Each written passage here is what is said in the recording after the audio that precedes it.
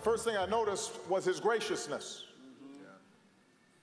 his smile, his reassuring baritone, his deceptive sense of humor. All qualities that helped him wear so effortlessly a heavy burden of expectation. Reverend Pinckney embodied a politics that was neither mean nor small. He conducted himself quietly and kindly and diligently. President Obama eulogizing the late South Carolina State Senator, the Reverend Clem Pinckney. Reverend Pinckney and eight members of his congregation at Charleston's Emmanuel AME Church were gunned down two weeks ago following a Bible study. Regardless of party, we expect our presidents to serve as our national comforters in chief. Recall Ronald Reagan after the explosion of the Space Shuttle Challenger or Bill Clinton in the wake of the Oklahoma City bombing. And Mr. Obama seemed poised to strike all the right notes last Friday afternoon, but sadly, the eternal message of God's grace gave way to the earthly temptation of political posturing. Rahm Emanuel is no theologian, but he infamously advised this president and fellow leftists to never let a crisis go to waste. And our chief executive flagged his troubling transition by bringing up the Confederate flag that's being brought down. By taking down that flag, we express God's grace.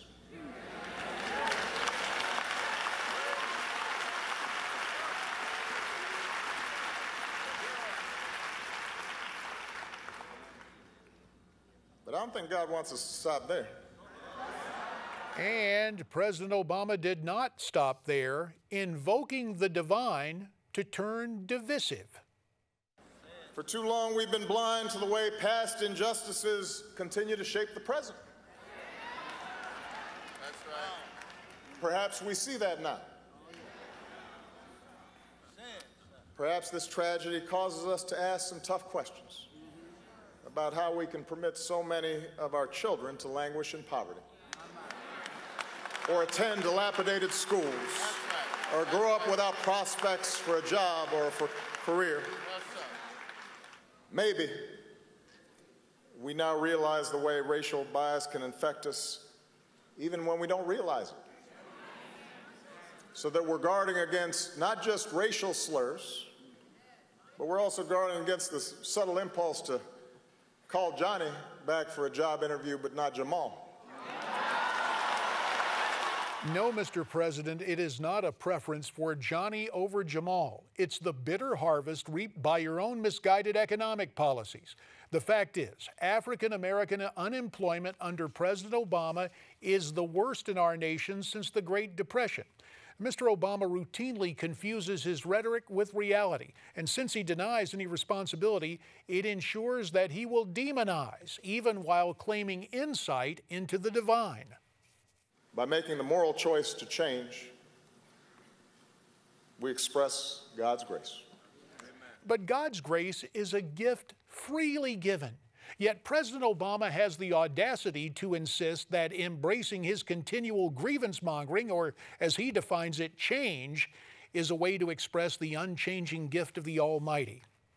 There is one unchanging aspect to President Obama's outlook. Our commander in chief is not a comforter in chief. Instead, he's the agitator in chief. And that's the way I see it. Now, time to hear what's on your mind via social media.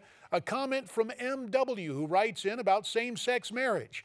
Writing, JD, we always say it's ridiculous, it'll never happen. Then it happens, and we move on to the next outrage. Those who say the clergy won't be forced to perform these ceremonies, that is, weddings of same sex couplers, are uh, same sex couples, are ignorant enablers. Our next comment from Alicia who writes in about the Supreme Court and voter ID. She writes, I cannot believe the Supreme Court's decision that ID or proof of who you are isn't important at voting polls. I think we need to recall most of these judges. They're leading us into the depths of lawlessness and no morals. This is such a sad time for our country. I'm ready to vote for Donald Trump for president. We'll have more of our interview with Donald Trump tomorrow night. For now, thanks for watching. Stay brave, stay free, stay tuned.